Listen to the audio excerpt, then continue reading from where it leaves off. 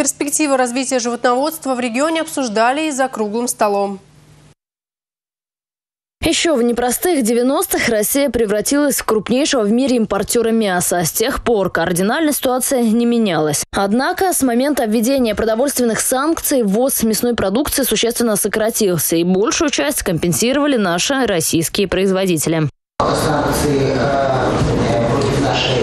начались не э, санкций банковских, то есть крупнейшие банки были лишены иностранных кредитов, и наша экономика разным подсчетам приблизительно не получила 180 миллиардов долларов. Ну и, естественно, э, наше государство было вынуждено сменить ориентиры, повернуться к КПК лицом и значит, искать э, возможности материальной помощи.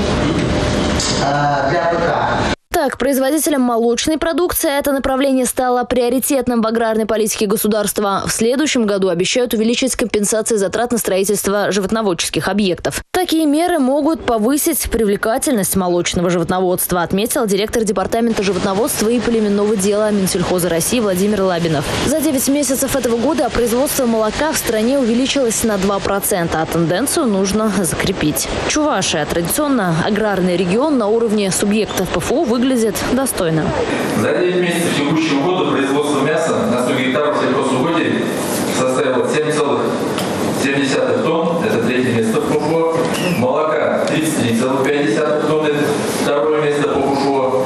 Впрочем, чтобы накормить население, только произвести продукт недостаточно. Тут на сцену выходит извечный конфликт переработчиков, производителей и продавцов. Чтобы попасть в крупную федеральную сеть, отдавать продукт приходится по низким ценам. Чтобы наши закваски при получении нормального продукта работали, мы э, получаем высшего сорта Посмотрите, 29 мы им отдаем. Минус ретро-бонус 10% минусу.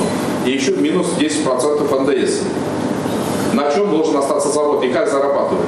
Сколько я э, проводил совещаний, встреч, всегда возникали вопросы, кто с кого снимает сливки. Я так понимаю, э, сейчас торговля снимает сливки да, с переработчика. Государственное регулирование цен здесь не поможет. Подобные меры всегда приводят к обратному эффекту – дефициту товара, заметил Владимир Лабинов. Для переработчиков куда выгоднее и самим производить сырье. Такой опыт, кстати, весьма успешный в Чувашии уже есть. Меры господдержки будут направлены в том числе и на то, чтобы его развить. Ольга Пырочкина, Анастасия Лангина, Александр Петров. Республика.